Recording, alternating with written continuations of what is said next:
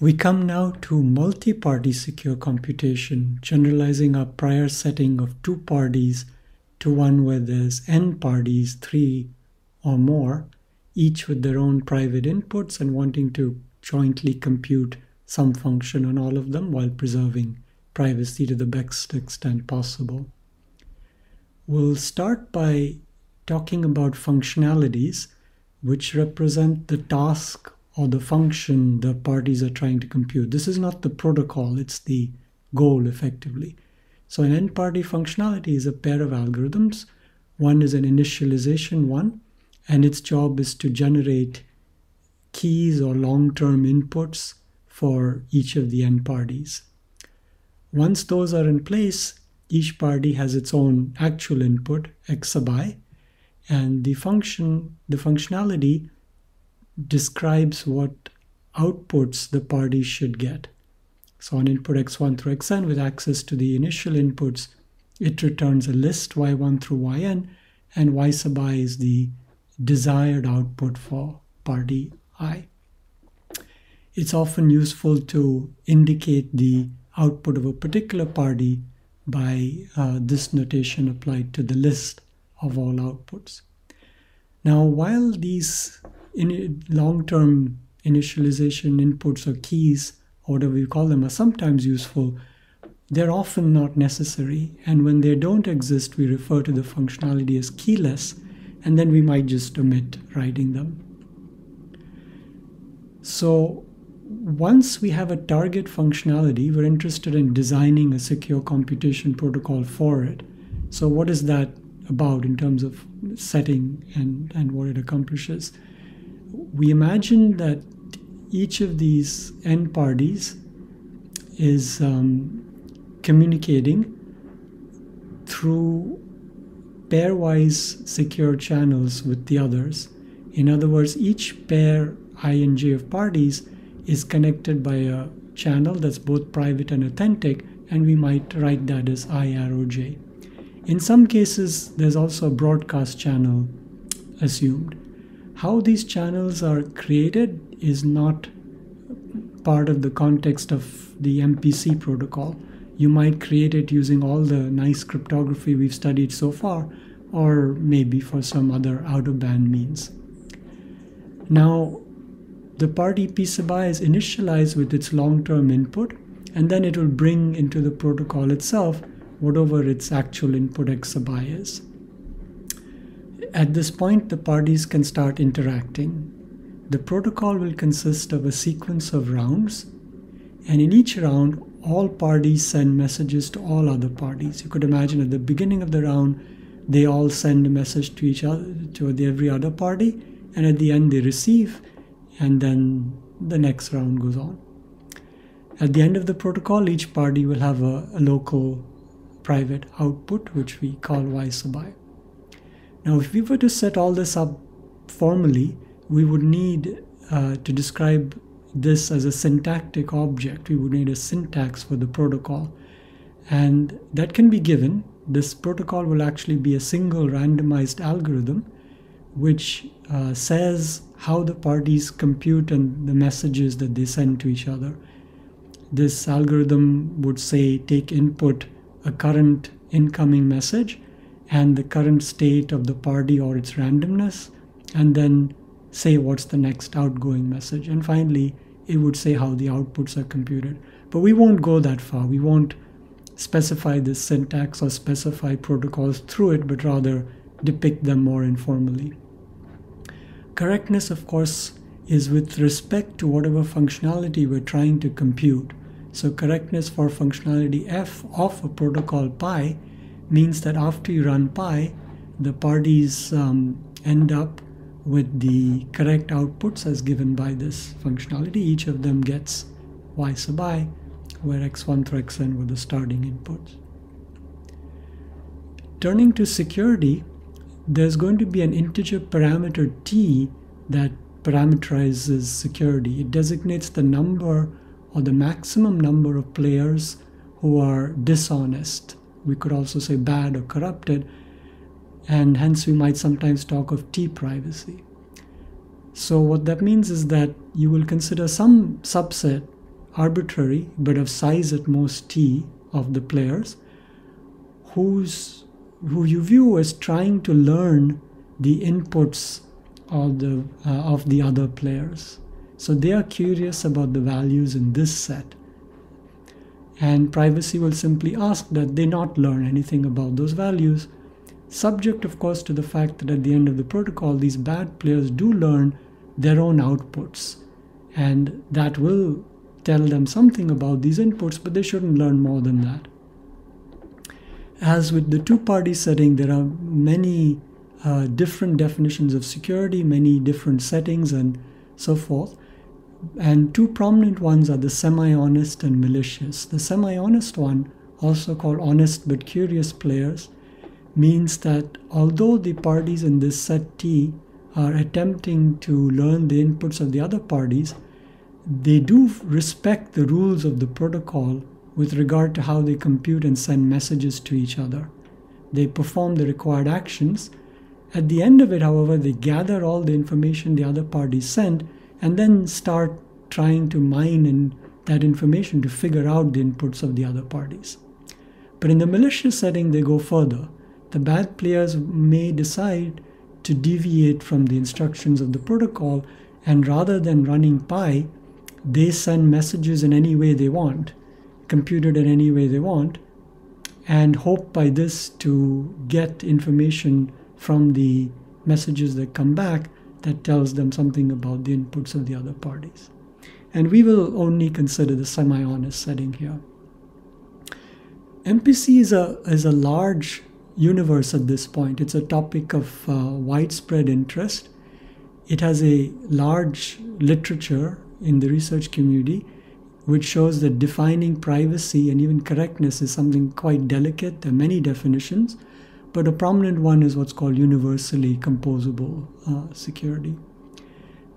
When it comes to protocols, as we've seen before, it's often been the um, culture of cryptographers to target, to start with general solutions. This means I'm handed an arbitrary functionality and I ask if I can design an MPC protocol to securely compute that.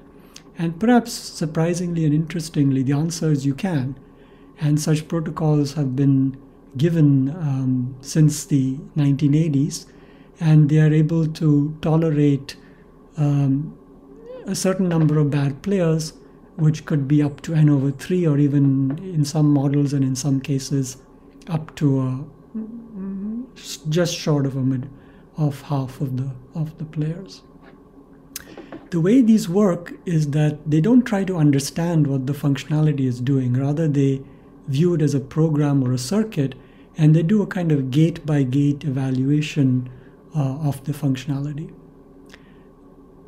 There's a great deal of interest in uh, uh, MPC in the industry now, so there's quite a lot of demand, and that has kind of fueled also research interest. And so there's a lot of work on efficient protocols, and this can be both for this general setting or for some specific functionalities of interest. There are many implementations. There are numerous startups in this space, and uh, so a lot of ex- uh, exciting activity. We might look, for example, at um, this as a as a resource which points to quite a lot of what's going on. So this gives you some pointers to books and so forth, and courses about this, um, tutorials, software, and then in this software there's frameworks primitives, uh, particular protocols, uh, tools, um, retired softwares, all, all kinds of stuff. So a lot of um, material to explore. All right, so what uh, what do we envisage we can do with multi-party computation? So uh, Lindell, who is one of the leaders in this space, likes to divide applications into two classes that he calls privacy and security. So privacy kind of reflects applications which are in the spirit of what we describe the problem to be, which is that you actually have distinct parties kind of with competing interests and privacy concerns who are entering with inputs that they want to protect and are unique to themselves, and then they want to evaluate this joint function across them. The other class, which he calls security, is where MPC becomes a tool for more conventional goals. And the canonical example there is that you start actually with a single secret, like a key for a cryptographic system. But since you're worried about compromise of the key if it's stored in a, one place, you share it using secret sharing across n servers who now become the parties. And where MPC enters is that whatever cryptographic function you wanted to compute on the key, you now compute distribu- distributively through the protocol on the shares of the key. So in the following, we're going to discuss one example in each category, private sum as a sort of privacy application and threshold signatures for the second. But uh, beyond that, the kinds of things that people talk about with regard to MPC um, are the following. You imagine that these parties have as their inputs or, or, or data sets, right? The commodity of the present moment is, is large sets of data. And they want to mine this, they want to run a machine learning algorithm and develop a model so that the model can later be queried. But they have some privacy concerns about their data sets and they don't want to actually provide them to other parties so that a machine learning algorithm can, in fact, be jointly and directly run on the data. So they resort to MPC. The function that our functionality here is um, to run the machine learning algorithm and output the model as a result. And that's what the MPC protocol will do. So you could imagine that these parties are healthcare organizations, that the data is healthcare or genomic data, and it might be hospitals, research organizations, or so forth. It could also be data, you know, gathered by Netflix or something like that on what movies you like to watch, being um, shared with similar data gathered by some other service to create models to give you better um, suggestions for the next movie to watch or who knows what. As you can see in this domain, you can get imaginative to whatever nth degree you want about applications. Okay, so now coming back to Earth with something a little bit more concrete is that we're going to talk about how you um, compute the sum function. So the setup here is that each party has an input which we see as an integer in z mod n. And what the parties want to know is the sum of all these inputs. This sum to be clear, is computed as an integer. It's not mod anything or in any group, uh, although that will enter the protocol at a later time. Of course, the main thing is the privacy constraint. So party I doesn't want to reveal its input to the others. So we might ask why, uh, whether there's any use for this particular application. You can imagine a few. For example, the parties are students in a class their inputs are their scores on the most recent quiz, so numbers between 0 and 100, and hence in the in Zmod 101. Why do they want the sum? Well, they don't actually, but they want the average, and the average and the sum are the same. You, you just divide by n uh, the sum, and you get the average.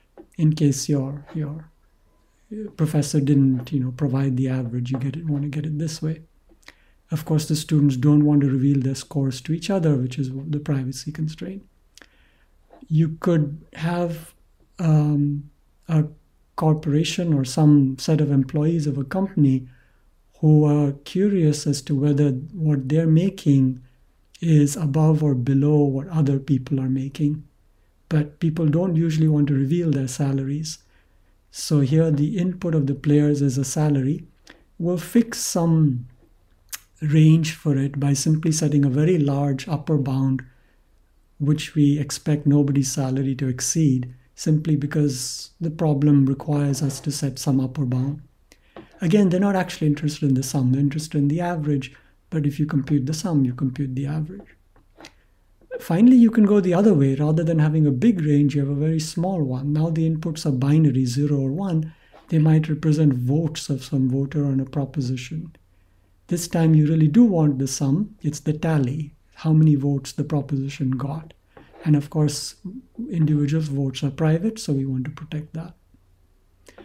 All right, so we, if we want to approach computing this securely, we first want to encapsulate it as a functionality that'll be our target. What we do for that is we multiply the upper bound on the size of each input by the number of players to get a number we call m. Now we're going to ask for a protocol to compute this and um, we're going to shoot for a, uh, just for simplicity, for an n minus 1 private protocol. And uh, the protocol functionality is the following keyless one. What it does is on input the, the values of the players, it simply computes the sum and returns it. Except we're going to compute the sum modulo this number m. Uh, why are we doing that? Because in the protocol, we will need to work in some domain and we will use the m for it.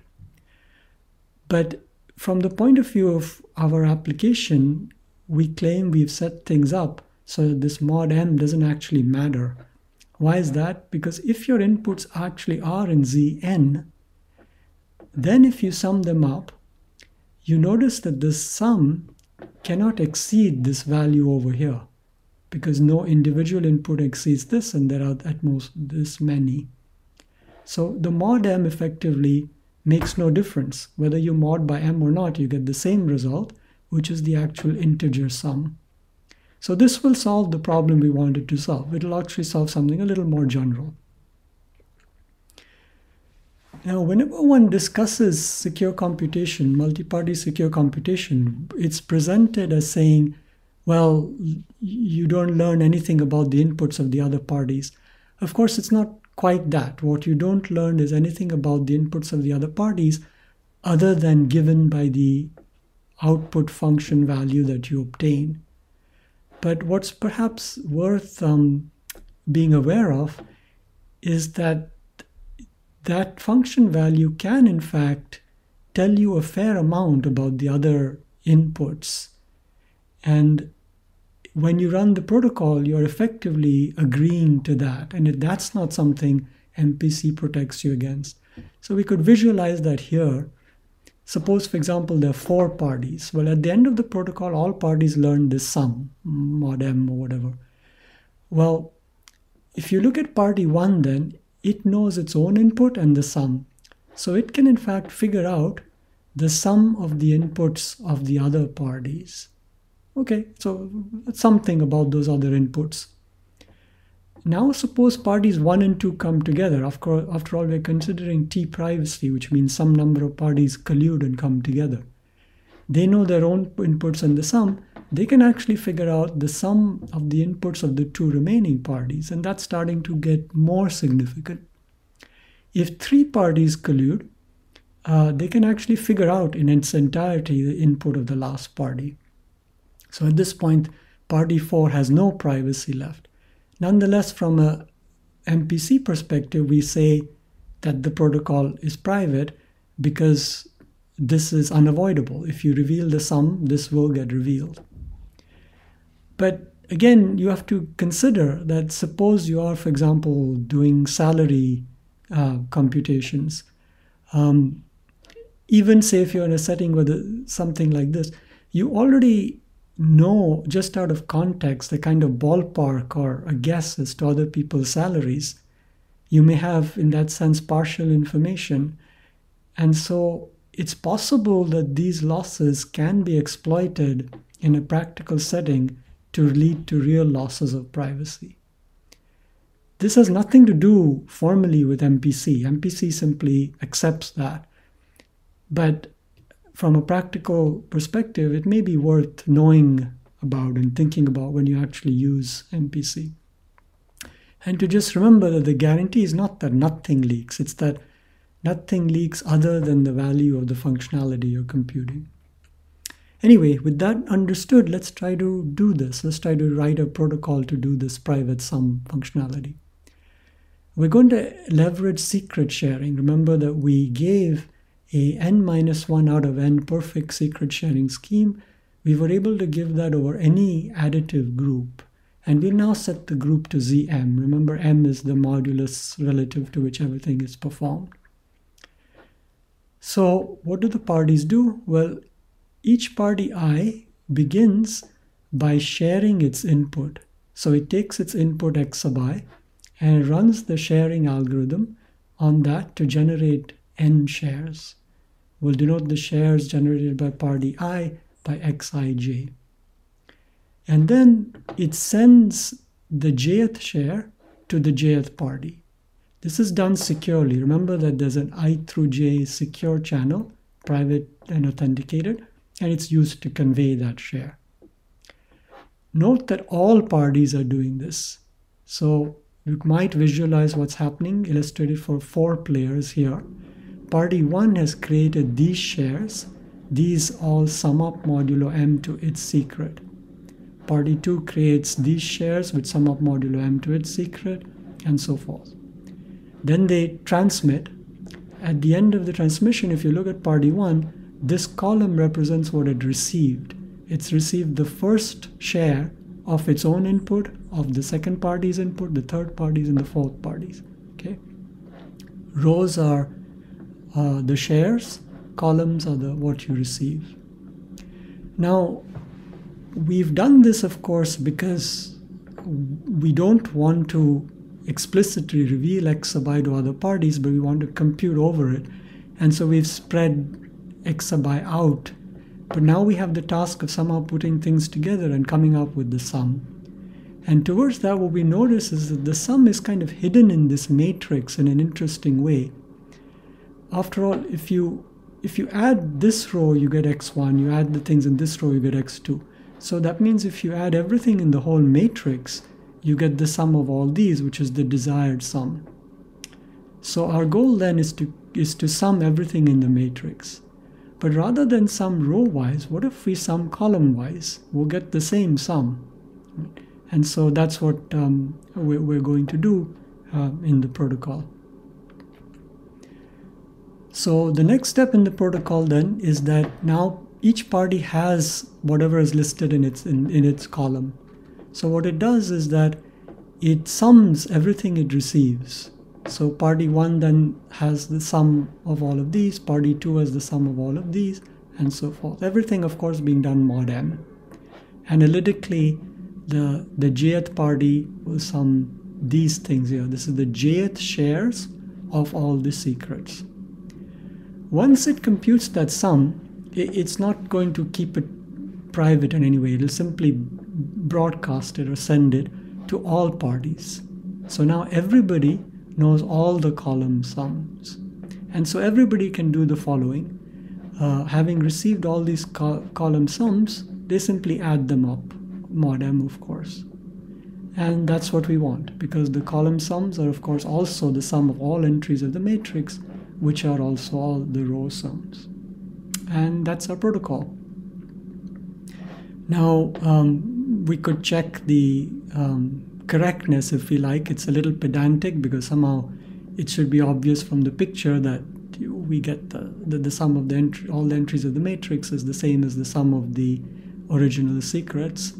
But if you want to write it analytically, um, we see that the ith secret is this, uh, the sum of all its shares. Why is that?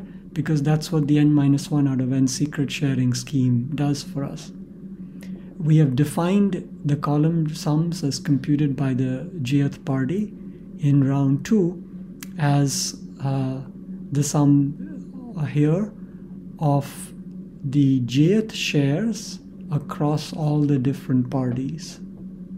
So now, uh, what is it that the protocol outputs?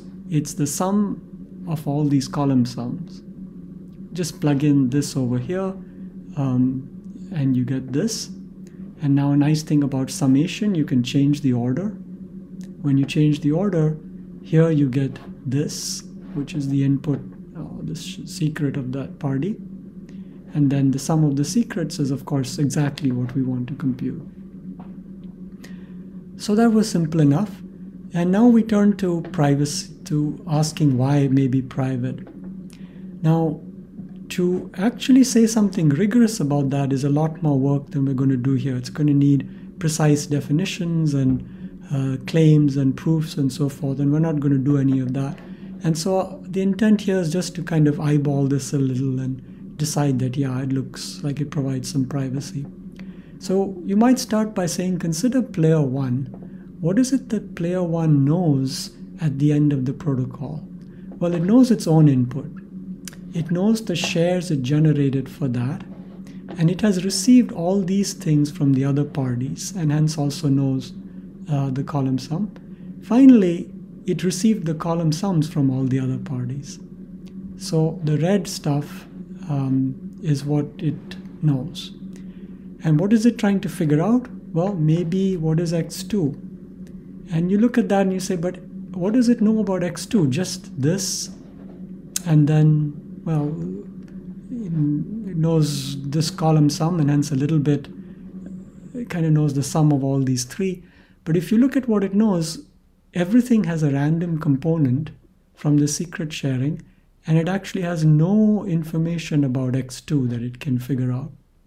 And this argument extends as you um, throw in more colluding players. But again, it's not, this isn't that obvious either as a claim or to actually establish it. All right, so let's move on. Um, as indicated earlier, we're trying to illustrate two styles of MPC applications. What we illustrated above was the privacy style in which parties start out with inputs whose values they want to protect and then, then they but they're curious about the value of some function on them. Now we're going to look at another case where the parties are created to solve um, a practical key exposure problem. So the background here is to remember that whenever we do basic cryptography, encryption, um, decryption, signing, and so forth, we rely on secret keys. If those secret keys are exposed to the adversary, there's no secret, uh, security left anymore. To run the, the algorithms, However, we need to store that secret key on some system. But we know that systems are vulnerable. We hear constantly about breaches, uh, malware being uh, infiltrated onto them, insider attacks, um, phishing attacks, and so forth. And all of these things put these secret keys at the risk of exposure. So, one of the approaches suggested to mitigate this risk is that you never store your key in one location. There's no unique place where the key actually appears. Instead, you take a TN secret sharing scheme and you create shares of your secret key through running the sharing algorithm. So call those shares uh, this. And then you, you put SKI, the ith share, on a dedicated server I. So that means that as the owner of the key, you have to somehow uh, create or um, uh, start up these N servers and um, then put keys on them.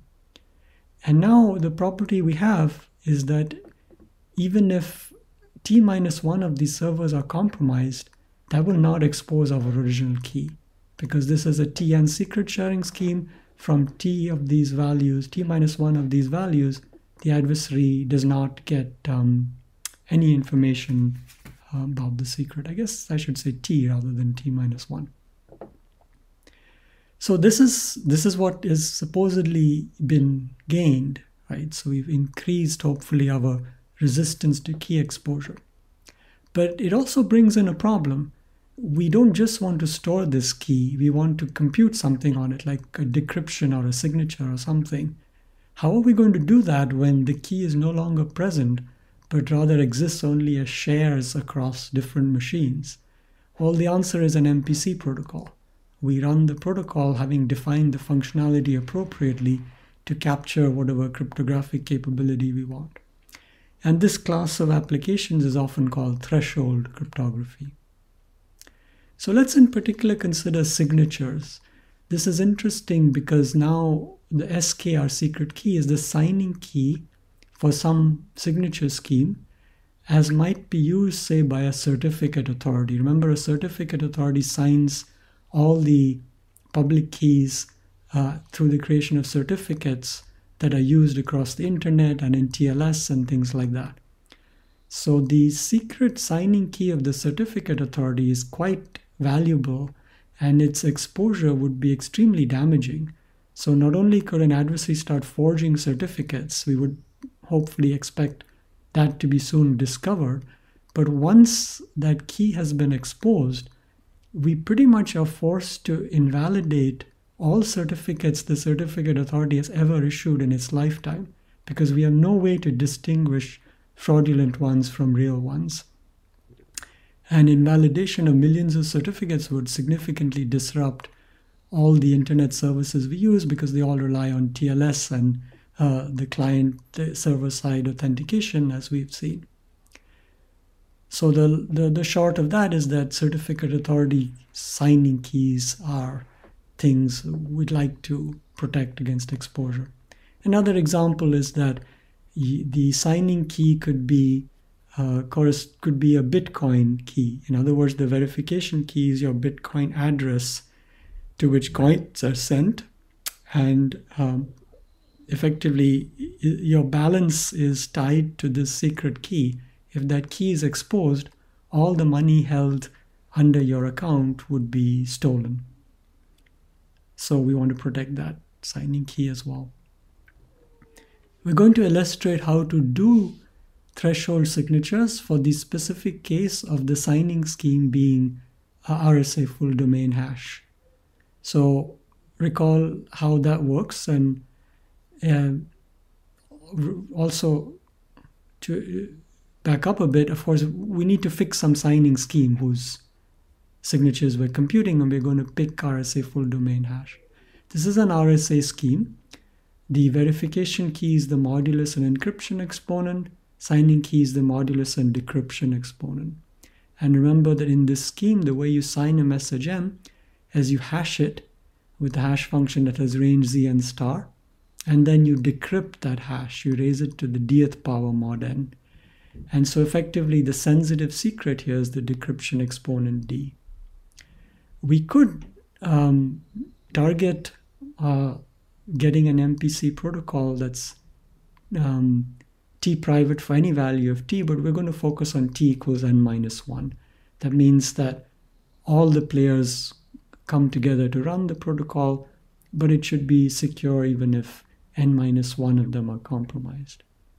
A tool we're going to use for this is, of course, a secret sharing scheme, and we're again going to, as before, use our n minus 1 out of n secret sharing scheme, the quite simple additive one we described. But we're going to change the group that underlies it. The group here is going to be z star z mod phi of n. So remember phi of n, the phi function of n is the order of the group zn star. And we're going to look at the additive group in which operations are modulo phi of n. And the reason for this, of course, is that our secret D lies in this space. So the first step is sharing of the key. So the key uh, here is effectively D. We'll think of the signer, the original one, as now just being party one. There are all these other parties that have been created to help with this process. So it runs the sharing algorithm on D, and that generates a list of shares we'll call D1 through D sub n. And now it will communicate D sub i to the ith party using the secure channel that MPC always assumes. So over that channel, you, you send this D sub i. Once that's done, the signer will delete the original secret D from its system. So this is achieving the goal that that D is not present anywhere. Nonetheless, it's implicitly there. Why is that? Because remember, the secret sharing guarantees this equation, illustrated here for the case where we have five parties as an example. If you sum the shares of all those five parties, modulo phi of n, because we're working here in whatever group underlies the secret sharing, um, you will get back the original secret. So although D is deleted physically, it's present implicitly mathematically in this way. Furthermore, if you look at any n minus 1 parties, any 4 in this particular example, you know from the secret sharing scheme's privacy that if you compromise them and obtain these d sub i's, you learn nothing about the original secret d. No information is revealed because those d sub i's just look like random independent strings in the in z phi of n. So so far so good. The difficulty, however, is that we haven't yet computed a signature. We still need to actually figure out how we sign messages.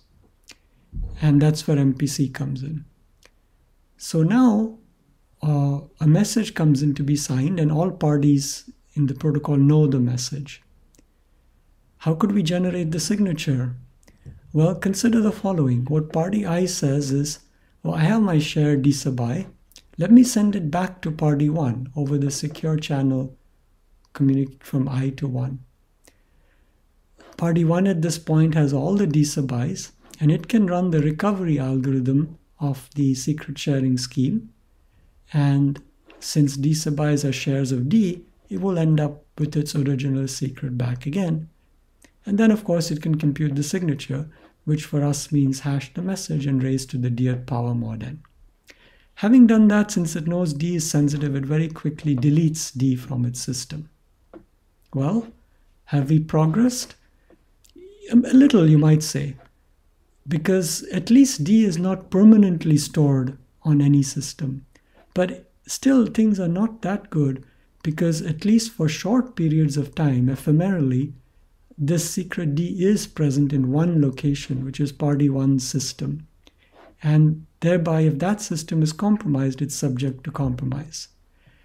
And this situation gets worse if you consider that this signing operation is frequent. If you're signing hundreds of thousands of certificates a day, it could be quite long periods overall that this key resides on that system, which will increase the risk of exposure. Okay, but there's actually something even worse that's hidden under the rug over here. Consider this recovery process here. It works over the group, and we know the simple equation it uses. All it needs to do is add the shares, and that will recover the secret. But remember, addition is in the group, and the group here is z phi of n. So in order to run recovery here, the party 1 actually needs to know phi of n. Otherwise, it can't do this mod operation. Well, where does it get phi of n? It's not something it can easily compute given n, that this is a hard function to compute. It would have to simply store phi of n on its system. But this is a problem because now uh, if someone breaks into the system, they will expose phi of n. And if you recall the math of RSA, once you know phi of n, you can actually factor n and thereby compute the decryption exponent. When you look at it this way, you actually see we've made no progress at all. We still have effectively the secret key residing on um, in a single place in party one system. Now you could uh, try to get around this in different ways. You could, for example, also share phi of n out and then have it reconstructed through returning the shares or many other things, but it's not clear how much it helps and we'll do something a little better. So um, again, the setting we have, the ith party has the modulus, which is public, and it's shared d sub i, where all the d sub i's add up to d mod phi of n, and we know the message to be signed. What party i does is it computes what we call a partial signature. It hashes the message and raises to the power of its share, mod n. And then it sends that over to the first party. Okay, since all parties do this at the end, party 1 has all of these x sub i values, and it's going to multiply them mod n. Notice that it doesn't need phi of n anymore. This is mod n and n is public. And we claim that that, if it outputs, is actually the signature of m. The algebra is pretty simple. Look at what x is. It's the product of all the x of i's mod n. But the x of i's are the hashed message raised to the power these shares d sub i. This product, of course, can also be written as h of m to the power this sum. Now the sum as written here is over the integers. We're just adding these as integers. But our group theory tells us that in the exponents, you can always throw in a mod the group order, the group order here being phi of n. Mathematically, there's no difference. Whether you sum as integers or you do the mod, it doesn't matter. But from our perspective, it's convenient because we now recognize that this thing here, the sum mod phi of n, is in fact our original exponent d. Why is that? Because the secret sharing guarantees exactly that. And so now we simply recover the signature. All right, so we've successfully um, given uh, at least a candidate protocol for threshold RSA.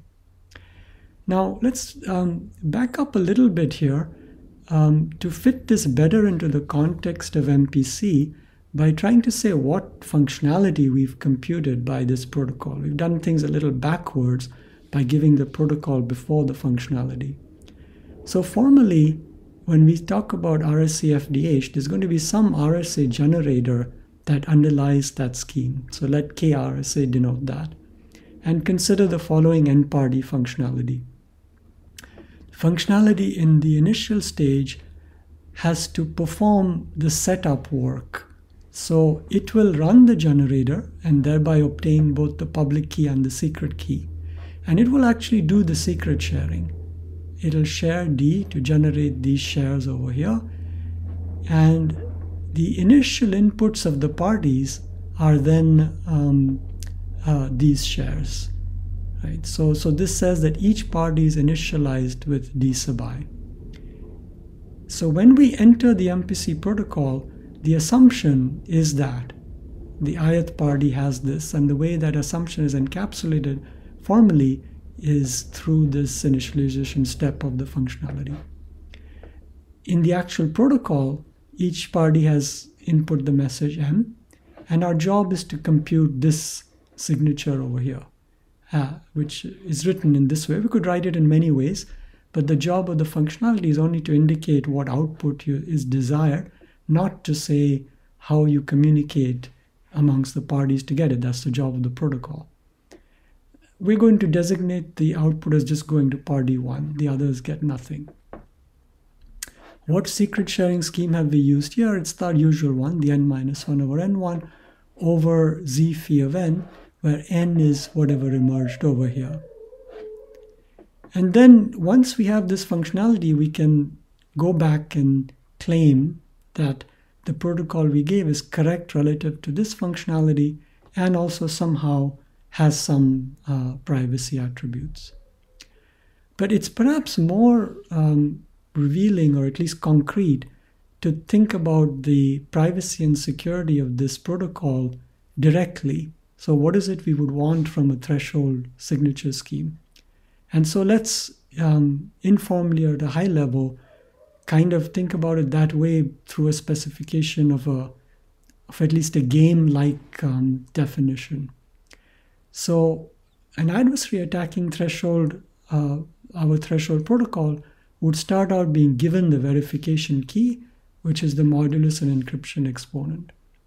We would then allow it to corrupt so a certain number of players. It can specify some set of players of course restricted to not be all of them. This is a t equal n minus 1 scheme, so it can corrupt up to n minus 1 players, and it gets all of their shares.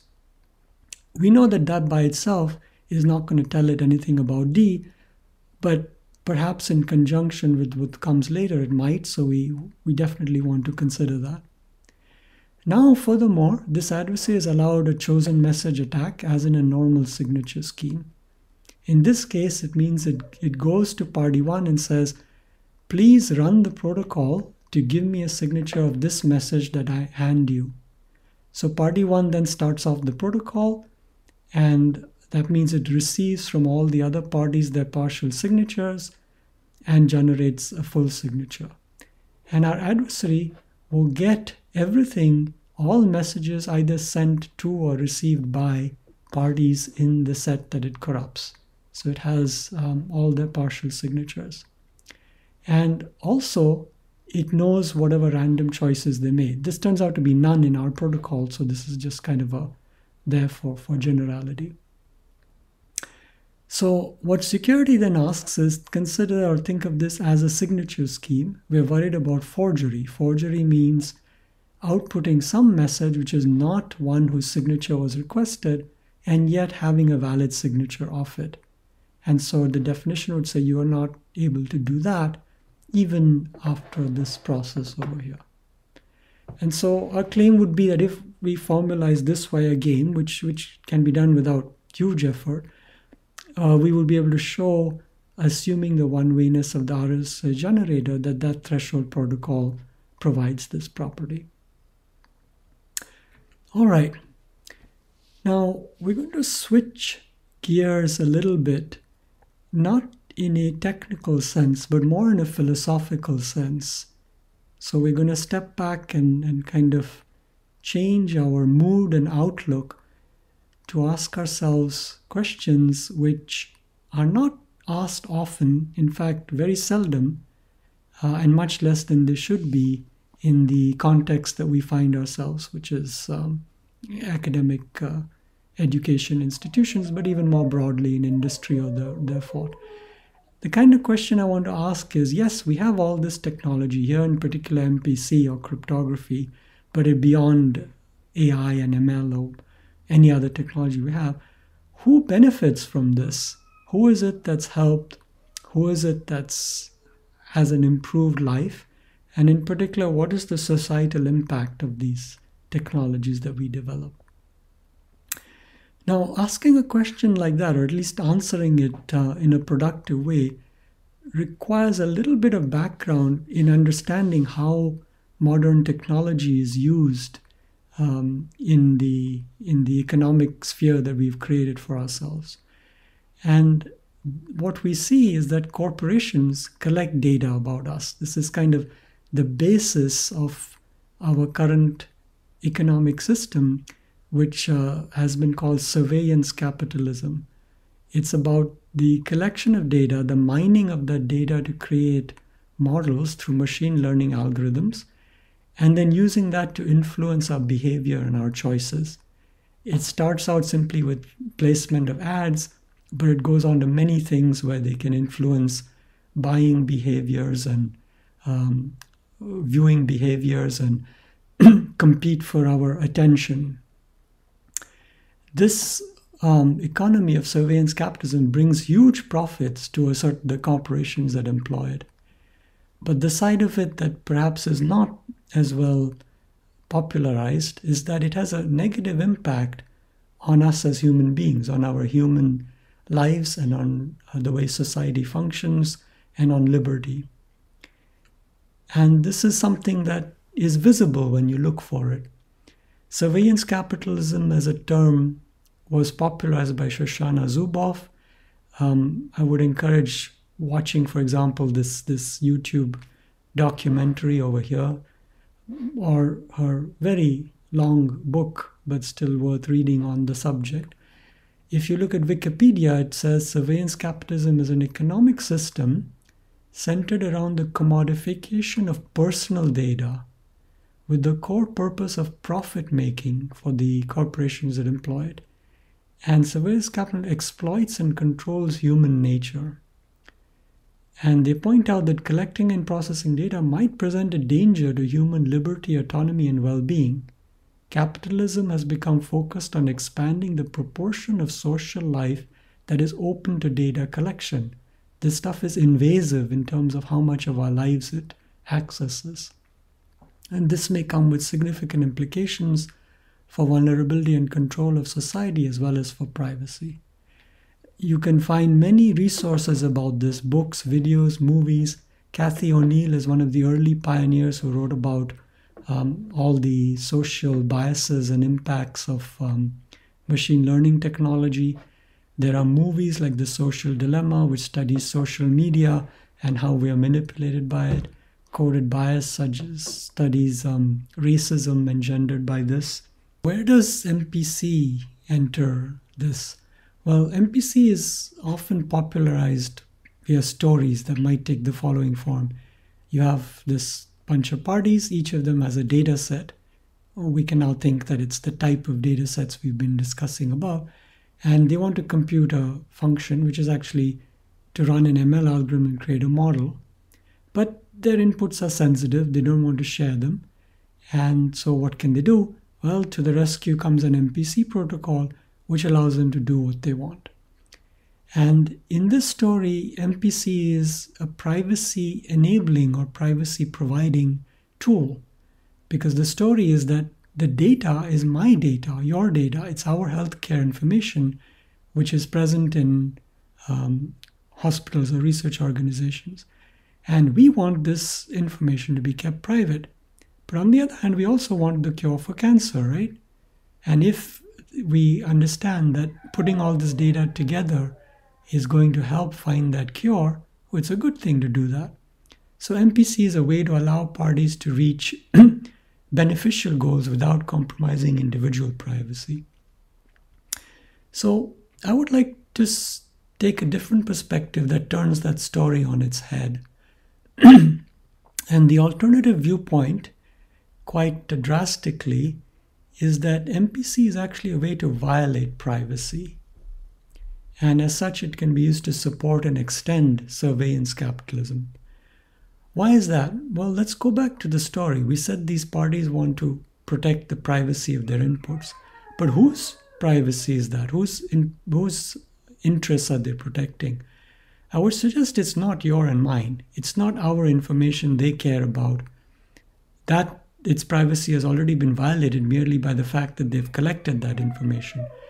Rather, their data set is of large financial value to them each party owns this data and uh, wants to exploit that uh, and gain financially from it.